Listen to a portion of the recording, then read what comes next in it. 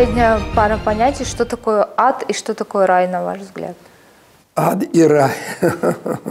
Один мне объяснял, что рай, говоришь, там что-то кипит и там подобное. А это вот эта жизнь не ад разве, говорил он. Вот там, где должна расти трава, мы асфальт накладываем, так, где должен лес э, шуметь, мы города выстраиваем, рубим лес и так далее.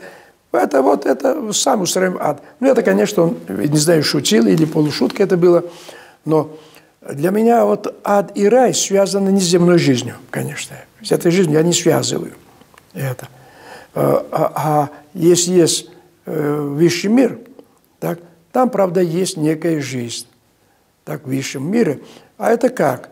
Ну, вот настолько я достиг своего совершенства, так, Э, этим я опыт набираю, э, силы свои набираю. И когда ухожу из этого мира, ну, достигаю тех пространств, настолько, на, на какой я способен. Так? Если я воробей, вот, то буду лететь вот на этом уровне. Но если я набрал энергию а, а, ласточки, то выше, быстрее. Но я могу, мог бы набрать еще энергию э, орла, да еще лучше, чайки – Джонатан Ливингстон, тогда я вот сверху, да? Вот сейчас считайте, где ад, где рай? Толстой говорит, душа каждого человека – это как алмаз. И каждого от самого человека зависит, сделается этот алмаз бриллиантом или не сделается. Вот сделаешь свою, свою душу бриллиантом, так? Вот и считай, что ты уже принес залог для рая – то есть для иного высшего образа жизни. Рай – это образ жизни. Ад – тоже образ жизни. Так. Не принес алмаз, э, бриллиант, ну вот тогда вот тебе достанется иное пространство. Но это не судьи будут делать.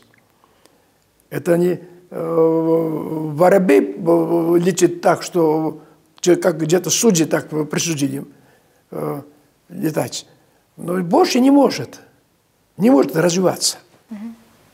Но человек-то может развиваться. О, наши отличие от всего остального животного мира только в том, что мы можем целенаправленно развиваться. Целенаправленно. Ни одно животное, даже разумное животное, не может развиваться целенаправленно. А цель это ставлю на вот, чтобы там где-то эта моя цель лежит, но сейчас осуществляю эту цель. Подвергаю этому будущему, цель всегда будущее, так, нечную жизнь. Это только человек делает. Поэтому судьба наша – это не где-то там лотерейная игра, а в наших руках. Как живем, вот такую судьбу себе творим. Ну, по поводу ада и рая, если я правильно поняла, вы считаете, что нет как такового места ад и рай, есть разные ступени развития. Ад и рай в нас самих присутствует. В каком пространстве хотите жить, вот живите в том пространстве. Так, хотите в рай жить. А что такое рай? Это роскошь, что ли? Это чистые мысли, так?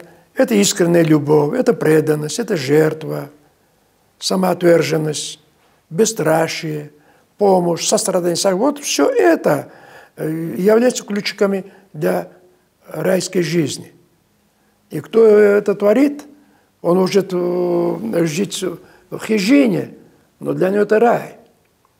А тот, кто на Бродвее живет и целый квартал себе выстроил там, он что, в рай живет?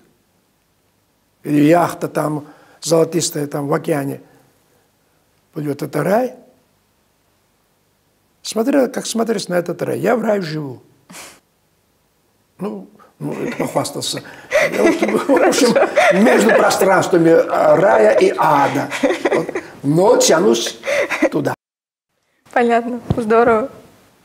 Спасибо вам большое. Удачи вам. Спасибо. Это проект «По понятиям». Меня зовут Альбина Шакирова. В гостях был Шалва Манашвили. Смотрите нас на канале YouTube МГПУ. Всем пока. До новых встреч.